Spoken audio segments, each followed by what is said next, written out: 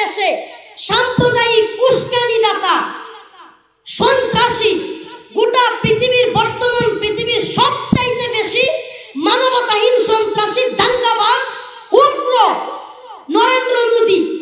সে কি করে বাংলাদেশে আসে? সে কি করে বাংলাদেশে আসে? বাংলাদেশ কেন ইন্ডিয়াতে যাও। আমরা আমাদেরকে পাকিস্তানি বলো। আমরা পাকিস্তানি না, আমরা বাংলাদেশের বাংলা মায়ের সন্তান। এদেশ থেকে আমরা যেমন উনিশশো একাত্তরে পাকিস্তানিদেরকে জুতা পিটা কইরা পাঠাইছি, আমাদের আকাবিরে দারুল দেওবন্দ আমাদের উত্তরসূরিরা যেমনি ভাবে ইংরেজদেরকে, ব্রিটিশদেরকে, লাল কুত্তার দলকে জুতা পিটা কইরা পাঠাইছে প্রয়োজনে বাংলার এক ইঞ্চি মাটিতে যদি কোন ইন্ডিয়ার দালালের চোখ পড়ে সেই চোখ উপড়ে হবে, ইনশাআল্লাহ। বাংলাদেশের সিলেট বিভাগের বিয়ানীবাজার এলাকায় মসজিদের মধ্যে আইসা বাধা দিচ্ছে বাংলাদেশ সীমান্তে ভারতের বিএসএফ। কে বাধা দিচ্ছে? নর্মাল একটা নীতিমালা তো আছে। কি? যদি সীমান্তবর্তী এলাকায় কোনো প্রতিষ্ঠানের কারণে, শিক্ষা প্রতিষ্ঠান হোক, মসজিদ হোক, কিংবা মন্দির হোক, অন্য পার্শ্ববর্তী দেশের বিডিআর অথবা বিএসএফ এর সমস্যা হয়, তাহলে নিয়ম হলো বিডিআরদেরকে আগে ভাগে বিএসএফ জানাবে। বিএসএফ কি করবে? জানাবে যে মসজিদটা এখানে নিষেধ করেন কিন্তু ইন্ডিয়ার বিএসএফ সরাসরি বাংলাদেশের ভিতরে ঢুইকা বিডিআরদেরকে না বইলা বিয়ানী বাজারে মসজিদের কাজ বন্ধ করে দিছে, এমনকি মসজিদের মুসল্লিদেরকে বাহির করে দিয়া বলছে, তোদেরকে প্রয়োজনে গুলি করে মারা ফেলব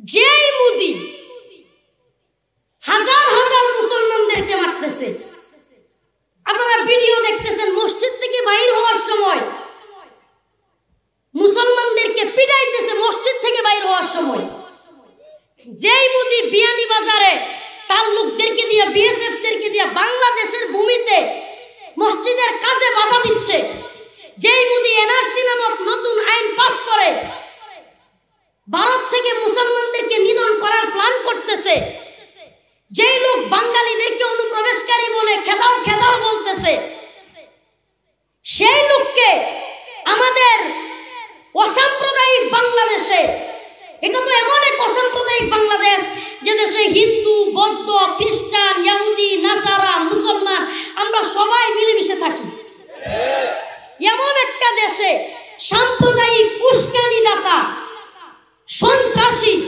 গোটা পৃথিবীর বর্তমান পৃথিবীর সবচাইতে বেশি মানবতাহীন সন্ত্রাসী দাঙ্গাবাজ উগ্র নরেন্দ্র মোদী সে কি করে বাংলাদেশে আসে সে কি করে বাংলাদেশে আসে আসলে আমরা একটু নরম হয়ে গেছি তো।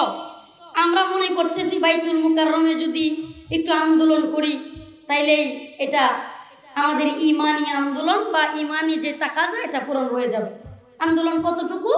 বাইতুল মুকাররমে আমাদেরকে যতটুকু অনুমতি দেওয়া হয়েছে, কি হুজুর আপনারা এখানে থাকবেন, এটার বাইরে যাইতে পারবেন। অনুমতি কি? আপনারা এই যে গন্ডিটা আছে বাইতুল মুকাররমের গেট এটার ভিতরে থাকবেন। আন্দোলন করতে পারবেন না রাজপথে। এটার ভিতরে, মসজিদের ভিতরে বক্তব্য টক্তব্য যা দিতে পারেন, ফাটা এলাম জুতো দিয়ে বাইরে এলেও হেন বাইরে। এই এতটুকু আন্দোলনের সীমা রেখা দিচ্ছে, আর আমরাও যদি মেনে নেই অমুসলমান একটা কথা না বললেই না। আজকে বর্তমান বাংলাদেশের ক্ষমতাসীন দল বলেন, বিরোধী দল বলেন, আওয়ামী লীগ, বিএনপি, এদের একটার উপরও মানুষের আস্থা বিশ্বাস নেই। আওয়ামী লীগ, বিএনপি যে বাংলাদেশের মানুষের জন্য রাজনীতি করে না ধর্মের জন্য রাজনীতি করে না, দেশের জন্য রাজনীতি করে না। এটার প্রমাণ আওয়ামী লীগ, মোদীকে এই দেশে আহ্বান কইরা আওয়ামী লীগ দিচ্ছে এই প্রমাণ, আর বিএনপি মোদীর বিরোধিতা না কইরা তারাও বুঝাইতেছে যে আমরা ক্ষমতায় টিকে থাকার জন্য আওয়ামী লীগ মোদীকে বাংলাদেশে আনতে চায়, আর বিএনপি বুঝাইতেছে আগামীতে ক্ষমতায় যাওয়ার জন্য আমরা মোদীর বিরুদ্ধে কিছু বলব না। তার মানে এরা আমাদের জন্য দেশের জন্য, মানবতার জন্য, ইসলামের জন্য রাজনীতি করে না, এরা রাজনীতি করে দলের জন্য পকেট পূজার জন্য, এরা রাজনীতি করে নিজেদের শান্ত সিদ্ধির জন্য পেট পূজার জন্য।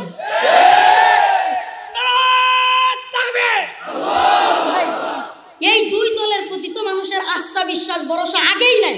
ঠিক ঠিক না? এই দুই দলের প্রতি আস্থা, বিশ্বাস তো আগেই নাই। তো যাদের প্রতি আস্থা আছে সেই দলটার নাম হেফাজত ইসলাম বাংলাদেশ। যেই দলটার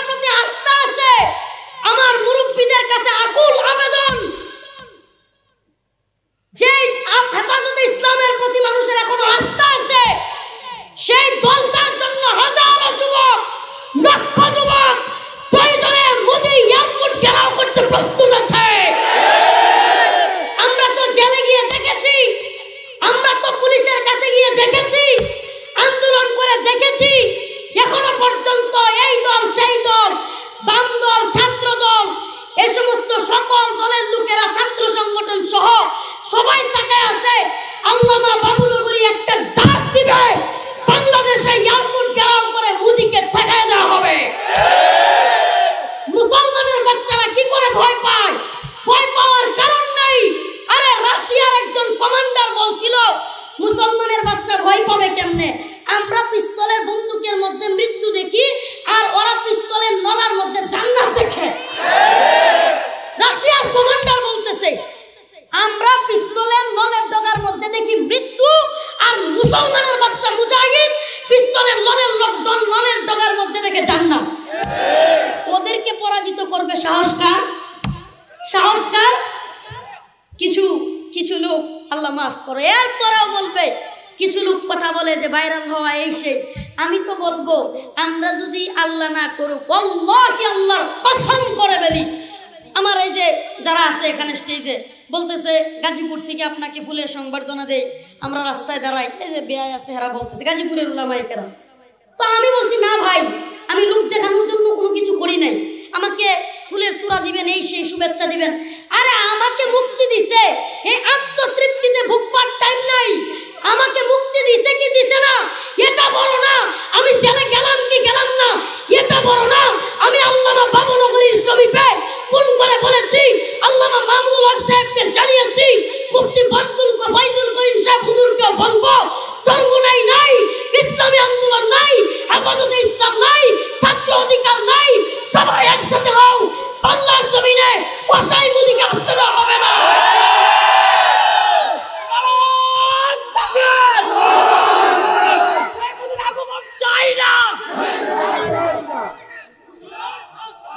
আমি আমার সাংবাদিক ভাইদেরকে বলব, পুষেরে যেমন সংবাদ সম্মেলনে ভিতরে সাংবাদিকরা জুতা মারছিল না? যদি আমরা ঠেকাইতে নাই পারি, আমরা সাংবাদিকরা জুতা মারব। আমি বলব, যারা অনুমতি পাবেন, মোদি সমাবেশে যোগ দেওয়ার যদি আওয়ামী লীগ হয়ে থাকেন, একটা জুতা এটা দিয়ে দেখেন, আপনারা জাতি চিরদিন স্মরণ রাখবেন। শেষ পর্যন্ত যদি আমরা ঠেকাইতে নাই পারি, বাংলাদেশে জুতা পিটা করে তো দিতে পারব। কি বলেন? আমি করে তো আর অনুমতি দিব না আমার অনুমতি দিলে তো। যারা বলে যে ভাইরাল হওয়া ভাইরাল হওয়া, ভাইরাল এসে আল্লাহ মাফ করো। আল্লাহ, তোমাকে সাক্ষী রেখে বলছি, যদি এক পার্সেন্ট অন্তরে রিয়া থাকে দেখানোর ইচ্ছা থাকে, তবে আমাকে মুনাফেক বানায় কবরে নিও কোরআন ছুঁয়ে শপথ খেতে পারব। অল্লাহি কাউকে দেখানোর জন্য না। কিন্তু আমার না এই যে গন্ডির ভিতরে থেকে অনুমতি দেওয়া, মিছিল মিটিং আমার ভালো লাগে না। অনুমতি দেওয়া কি আপনারা এতটুকু পর্যন্ত থাকবেন, যা পারেন করেন। এটা আমার পছন্দ হয় না। হেফাজতে ইসলাম বাংলাদেশ লক্ষ লক্ষ কোটি কোটি মানুষের একটা সংগঠনের নাম হেফাজত। লক্ষ লক্ষ কোটি মানুষের দলের নাম ইসলামী আন্দোলন বাংলাদেশ। এই সমস্ত দলগুলো মুদির বিরুদ্ধে প্রতিবাদ করবে। আজকে মুদির বিরুদ্ধে প্রতিবাদ না করলে আগামীকালকে মুদি বাংলাদেশ দখল করবার চেষ্টা করবে। পরিস্থিতি এমন হচ্ছে, আওয়ামী লীগ ক্ষমতায় থাকুক, বিএনপি ক্ষমতায় থাকুক, এই মুদি যে কোনো দলের উপর চড়াও হয়ে মুদি না শুধু ইন্ডিয়ার যে কোনো প্রধানমন্ত্রী আমাদের মাথায় চড়ে, ও মুসলমান, এই পরিস্থিতিতে মুদি আসতেছে, এমন পরিস্থিতিতেও ইন্ডিয়ান বিএসএফ আমাদের মুসলমান, আমাদের দেশের মানুষ মারছে, মারে নাই? আরে মোদি শুধু ইসলাম বিদ্বেষী না, মোদি দলিত যে আদিবাসী গোষ্ঠী আছে হিন্দু, এদেরকে পর্যন্ত মারছে ইন্ডিয়াতে। তার মানে এমন একটা উগ্র সন্ত্রাসী, এটা আমাদের দেশে পঞ্চাশ বছর সুবর্ণ জয়ন্তী। কি জয়ন্তী? মুক্তিযুদ্ধের স্বাধীনতা যুদ্ধের কি? সুবর্ণ জয়ন্তী। স্বাধীনতা যুদ্ধের সুবর্ণ জয়- জয়ন্তীতে একটা স্বাধীনতা বিরোধী লোককে মানুষের স্বাধীনতা কেড়ে নেয় এমন একটা লোককে আইনা এখানে দাওয়াত দেওয়া কি ঠিক হয়? বলেন। স্বাধীনতার একটা সুবর্ণ জয়ন্তী পঞ্চাশ বছর। আমরা এই দেশকে ভালোবাসি। স্বাধীনতার সুবর্ণ জয়ন্তী, এটা কি শুধু আওয়ামী লীগের? দেশকে আওয়ামী লীগের একা? বিএনপি।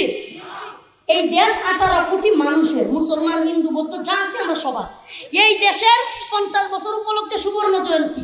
এটা যারা চায় এ দেশের মানুষ যাকে চায় তাকে আনতে হবে। আপনাদের যদি মনে হয় আব্দুল মুমিন না কি নাম পররাষ্ট্রমন্ত্রী? আব্দুল মুমিন। তাকে প্রশ্ন করা হয়েছে। সাংবাদিকরা বলতেছে যে আচ্ছা মোদি যে আসতেছে এই তিস্তার পানি নিয়া বা এগুলো নিয়ে কি বন্টন নিয়ে বা বিভিন্ন অমীমাংসিত ইস্যুতে কি কথা হবে? সে অকপটে বলতেছে, আমরা এগুলো নিয়ে কথা বলতে রাজি না। আমরা উনি আসতেছেন এতেই খুশি। দালালের গোষ্ঠী! দালালি করবার জন্য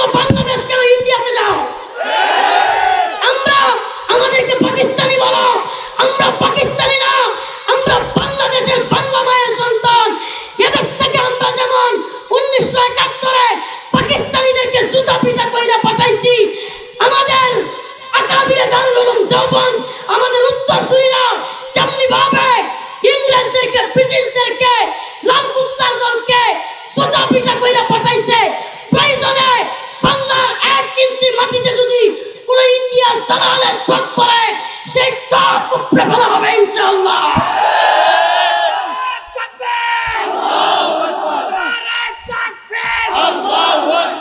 ইসলামের চতুরা কোষাই মোদী তুই গেলে কোষাই মোদী তুই গেলে নারায়ণ থাকবেন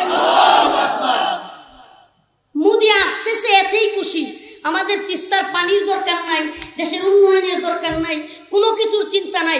এগুলো বলতে গেলে হুজুররা মাহফিলে এগুলো বলে কেন?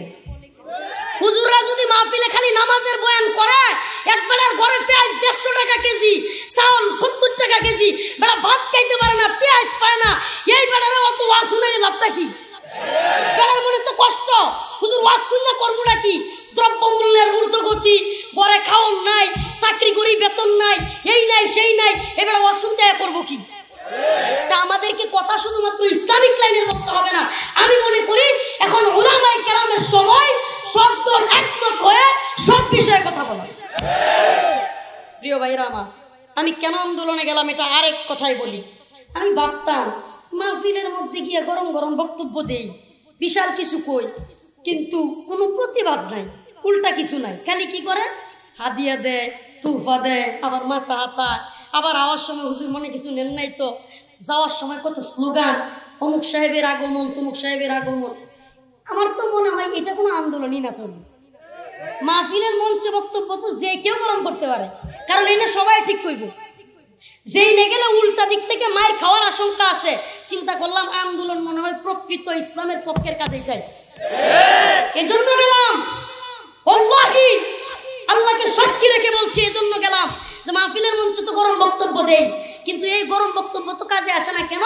এরা মনে করে মাহফিলে হুজুরা তো কত কিছুই কর এখন থেকে ময়দানে বলতে হবে।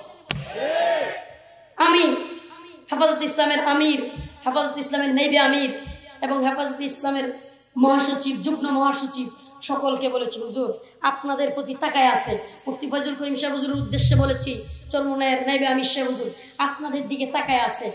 কিছুদিন আগে মুক্তিযোদ্ধা সংগঠন নামের, মুক্তিযুদ্ধ মঞ্চ নামের এক গুইফুর সংগঠন, মুফতি ফজল করিম সাহেব, আল্লাহ মামুল্লক সাহেব, আল্লাহ বাবুলগরি সাহেব হুজুরের নামে মামলা করে দেয়। এরা এই যে দুঃসাহস আস্তে আস্তে আমরা দিচ্ছি, আমরা এই যে পরিস্থিতি মাইনা নিতেছি, সবকিছু ওদের কথা মতো চলতে চাচ্ছি, আস্তে আস্তে অবস্থা এমন তৈরি হবে, আমরা রাস্তায় দাঁড়াইলে ওরা মারবে। আমরা কোনো দলকে ক্ষমতায় উঠানোর জন্য কথা বলি না, কোনো দলকে নামানোর জন্য বলি না। কিন্তু এ দেশের চিন্তা, ইসলামের চিন্তা, মানবতার চিন্তা যাদের নাই, আমরা তাদের বিরুদ্ধে শুধু কথা বলব না, প্রয়োজনে যুদ্ধ করব, জিহাদ করব।